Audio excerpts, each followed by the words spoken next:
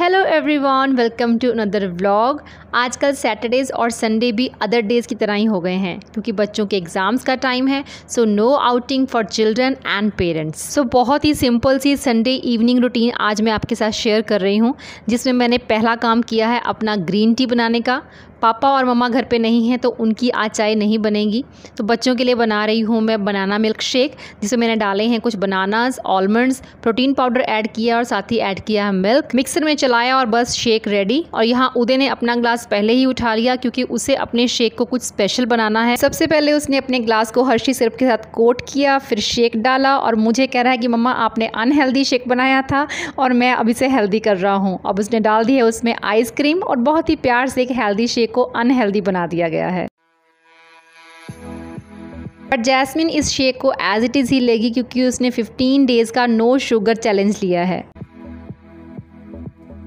और ये दूसरे दो ग्लासेस हैं तनु और विशाल के लिए। सैटरडेज़ को कई बार बच्चे आ जाते हैं और संडे इवनिंग को उनका जाने का टाइम होता है।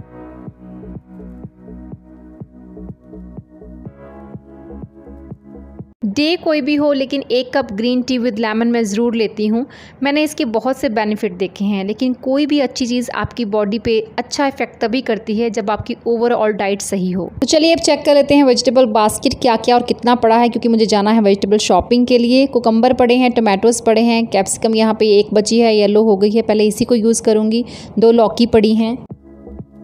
जब भी आप वेजिटेबल शॉपिंग पे जाएँ तो इस तरह के छोटे छोटे कपड़े के बैग्स साथ में लेके जाएँ। इनको हमने घर पे ही बनाया है, क्योंकि वेजिटेबल मार्केट में आपको प्लास्टिक के बैग्स ही मिलेंगे। और प्लास्टिक कितना हार्मफुल है, ये हम सब जानते हैं। So please try to avoid plastic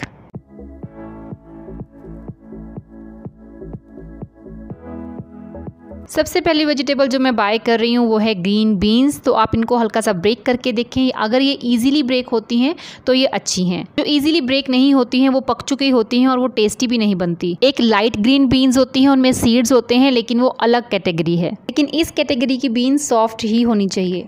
capsicum तीन से चार कलर में आती हैं, लेकिन कॉमनली जो यूज़ होती हैं वो है ग्रीन कैप्सिकम और मेरे घर में कैप्सिकम बहुत ज़्यादा बनती है। छोटा सा एक डिफरेंस होता है कैप्सिकम में, एक होती है फीमेल और दूसरा होता है मेल कैप्सिकम जिस कैप्सिकम की थ्री साइड्स थोड़ी सी उभरी हुई होती हैं, वो है मेल कैप्सिकम और जिसकी चार साइड्स उभरी हुई होती हैं, वो है फीमेल कैप्सिकम डिफरेंस इनमें बस इतना है कि फीमेल कैप्सिकम खाने में स्वीट होती है, आप उसे रॉ भी खा सकते हैं, यानी कि हम उसे सैलड में यूज़ कर सकते हैं और मेल कैप्सिकम का इस्तेमाल कुकिंग के लिए किया जाता है। वाइट मशरूम करी मेरे बच्चों को बहुत पसंद है। बच्चों को तो क्या, पूरी फैमिली को ही बहुत पसंद है। तो जब भी मैं वेजिटेबल मार्केट आती हूँ तो मशरूम ज़रूर बाय करती हूँ। मशरूम कौन सा अच्छा है, कौन सा नहीं, वो पैकेट खोल के तो आप चेक नहीं कर सकते, लेकिन आप पैकेट से ही अंदाज़ा लगा सकते हैं। जो मशरूम का टॉप है, वो पूरा क्लीन होना चाहिए, यहाँ पे कोई कट नहीं होना चाहिए। ध्यान रखें कि पैकेट में एक मशरूम जैसा होगा, बाकी के मशरूम्स भी वैसे ही होंगे। आलू बैंगन की सब्ज़ी बनानी हो तो मैं छोटी छोटी बैंगनी ही चूज़ करती हूँ, लेकिन इस बार मुझे बनाना है बैंगन का भरता। तो जब भी आप भरते के लिए बैंगन चूज़ करें तो इतना ख्याल रखें कि उनका कलर थोड़ा सा डार्क होना चाहिए और साइज़ उनका चाहे बड़ा हो, लेकिन उनका वेट लाइट होना चाहिए और थोड़ा सा दबाने से ही वो दब जाएँ, क्योंकि हैवी बैंगन में सीड्स बहुत ज़्यादा होते हैं और उनका टेस्ट बिटर होता है। और जिस बैंगन में सीड्स ज़्यादा हों और सीड्स पके हुए हों, उनका भरता बिल्कुल भी टेस्टी नहीं बनता है।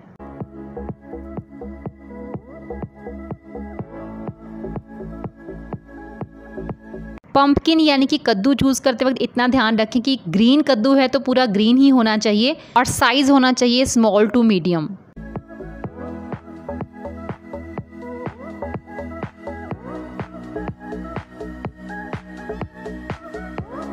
आलू की भी आजकल बहुत वैरायटी आने लगी है। आलू आप कोई भी चूज़ करें, लेकिन इतना ध्यान रखें कि उनमें रूट्स नहीं होनी चाहिए।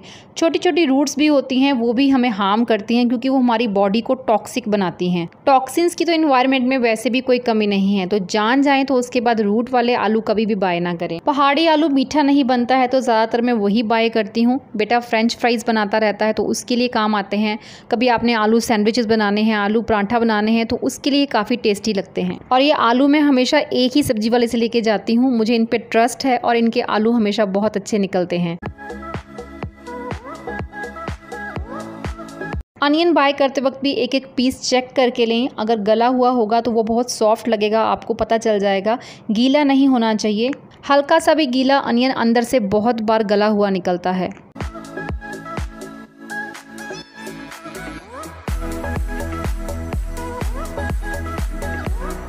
भिंडी का तो सबको पता ही है कि कच्ची भिंडी ही अच्छी होती है तो ज़रा सा उसे टिप से तोड़ के देखें, अगर ईज़िली वो टूट रही है तो इसका मतलब कि वो सही है।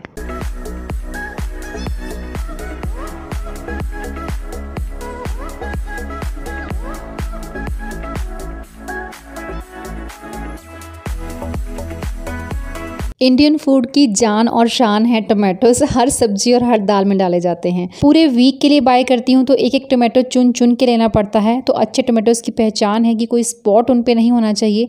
कहीं से भी गला हुआ, हल्का सा भी गला हुआ नहीं होना चाहिए। टोमेटो को हाथ में पकड़ के देखें, अगर वो थोड़ा हैवी लगता है आपको तो वो ज़्यादा जूसी होगा। और जूसी होने का अंदाज़ा आप उनकी स्मेल से भी लगा सकते हैं।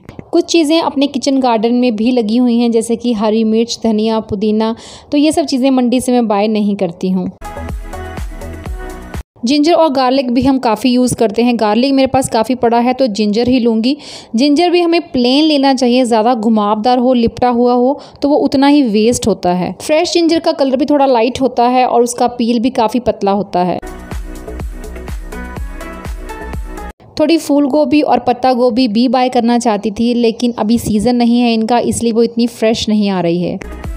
तो घर आके काम और भी होते हैं तो इसीलिए वेजिटेबल्स को मैं एज़ इट इज़ ही फ्रिज में रख देती हूँ। नेक्स्ट मॉर्निंग में इनको वॉश करूँगी। संडे की जो लॉन्ड्री होती है, वो बहुत ज़्यादा होती है, क्योंकि कपड़ों के साथ साथ बेडशीट्स भी होती हैं टाल्स भी होते हैं। तो नीचे से मम्मा कपड़े उठा चुके हैं और ऊपर छत से मैं उठाने आई हूँ। सोयाबीन दाल की रेसिपी काफ़ी लोग पूछते हैं तो चलिए आज बना रही हूँ तो आपके साथ शेयर भी करती हूँ। तो इसको मैंने चार पाँच घंटे पहले भिगो दिया था, अब बॉईल करने के लिए रख रही हूँ। दाल के हिसाब से ही आप पानी डालें, अपने टेस्ट के अकॉर्डिंगली सॉल्ट डालें और प्रेशर कुकर को बंद कर दें। एक विसल आ जाए तो फ्लेम लो कर दें और ट्वेंटी मिनट्स तक बॉयल होने दें।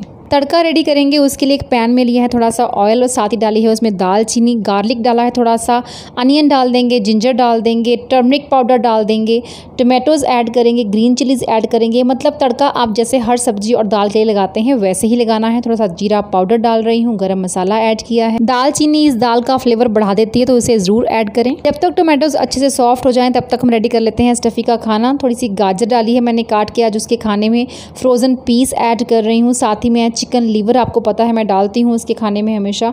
तो चिकन लीवर डाला है, राइस डाल दिए हैं। थोड़ी सी डालेंगे हम इसमें टर्मरिक पाउडर, थोड़ा सा डाल देंगे पानी और रख देंगे कवर करके इसको पकने के लिए। तड़का अच्छे से भुन जाए तो ठंडा करके इसको ग्राइंड कर लें। तो देखिए, इस तरह की ग्रेवी हमारे पास रेडी हो जाएगी और उसके बाद हम इसमें डाल देंगे बॉयल की हुई सोयाबीन की दाल। इस रेसिपी को आप सिर्फ़ एक बार ट्राई कीजिएगा, उसके बाद ही आपकी ग्रोसरी लिस्ट में शामिल हो जाएगी। तो लीजिए, दाल तो हो गई है मेरी रेडी जब तक मेरी चपातियाँ बनेंगी, तब तक स्टफ़ी का खाना भी रेडी हो जाएगा। और खाने की खुशबू से जिस मेंबर की सबसे पहले एंट्री होती है किचन में, वो है मिस्टर उदय प्रताप सिंह। और आजकल तो पढ़ाई ज़ोरों पे है, क्योंकि एग्ज़ाम्स चल रहे हैं तो बहुत जल्दी भूख लगती है। तो यहाँ पे मेरे साथ वो डिस्कस कर रहा है कि उसकी प्रिपरेशन कैसी चल रही है, क्योंकि मॉर्निंग में उसका एग्ज़ाम है। और पहला ही एग्ज़ाम उसका मैथ्स का है तो यहाँ मुझसे वो यही डिस्कस कर रहा था कि, मम्मा अच्छा हो गया कि फ़र्स्ट एग्ज़ाम मैथ का है। जो ज़्यादा प्रेशर है बर्डन है, वो पहले ही ख़त्म हो जाएगा। कहने को तो उसने प्रेशर वर्ड यूज़ किया, लेकिन मुझे पता है कि वो कितना प्रेशर लेता है। हमारे घर में सिर्फ़ यही एक ऐसा शख्स है जो किसी भी चीज़ का कभी भी कोई प्रेशर नहीं लेता है। स्पेशली पढ़ाई का तो बिल्कुल भी नहीं, बहुत मस्त रहता है और होना भी ऐसे ही चाहिए। बिना प्रेशर के जब आप कोई चीज़ करते हैं, चाहे वो पढ़ाई हो या कोई और काम तो उसके रिज़ल्ट ज़्यादा बेटर आते हैं। अच्छा खाना खाएँ और पढ़ते पढ़ते ब्रेक ज़रूर लें और ब्रेक के दौरान आप वो करें जो आपको गुड फील करवाता हो। लीजिए बातों ही बातों में मेरा काम भी ख़त्म हो गया, आप कर लेते हैं साथ के साथ क्लीनिंग विद मैजिकल क्लीनर जी हाँ डी क्लीनर है, इसकी रेसिपी आपको डिस्क्रिप्शन बॉक्स में मिल जाएगी, मैं काफ़ी टाइम से यूज़ कर रही हूँ। काफ़ी सारे सब्सक्राइबर्स मेरे इसके बारे में जानते हैं, जो नए हैं, वो नीचे चेक कर सकते हैं।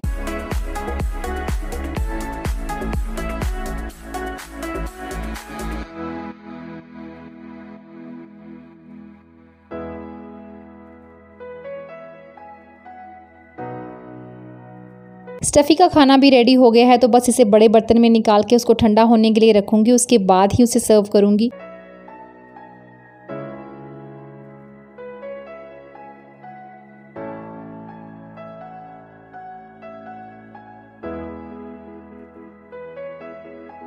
खाना वाना खा के सब काम खत्म करने के बाद अपने रूम में जाने से पहले बच्चों के रूम में एंट्री होती है। और ये हस्बैंड के साथ स्टफ़ी की मस्ती जो एक बार उनके ऑफ़िस से आने के बाद और एक बार रात को सोने से पहले ज़रूर होती है। घर में आपके कोई भी पेट हो स्पेशली डॉग्स हो तो वो स्ट्रेस बस्टर का काम करते हैं। ये सारे डॉग लवर्स जानते होंगे।